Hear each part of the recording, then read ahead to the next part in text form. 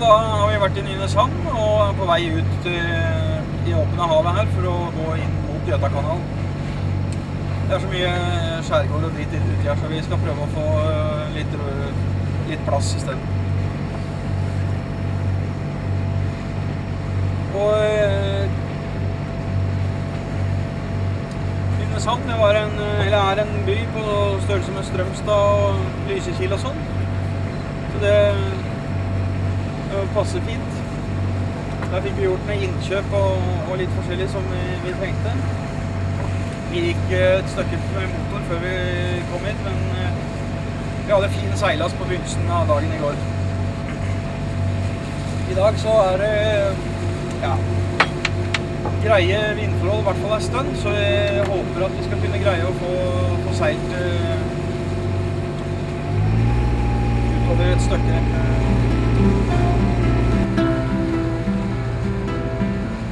Ja,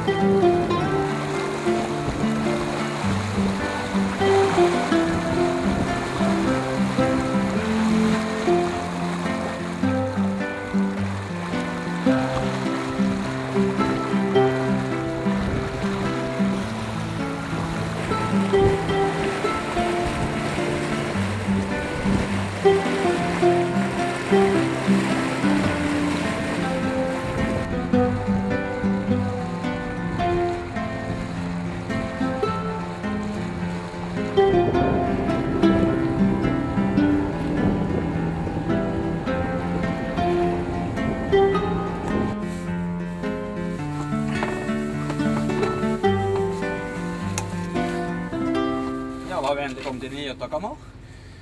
Og eh, turen hit gikk veldig fint. Vi var en liten tur innom i Nynäshamn.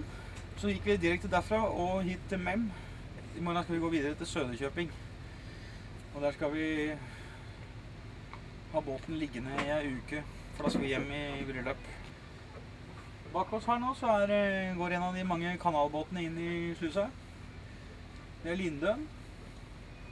Det er helt utrolig at de svære båtene får plass inne i, i slusene her, men det gjør de altså. Men Det er faktisk en ganske stor båt. Vi var i nærkontakt med sånn for to år siden da vi var her. Da trodde vi at båten skulle smadres. Det bare knaka så vidt i skroget, og så var den, var den forbi.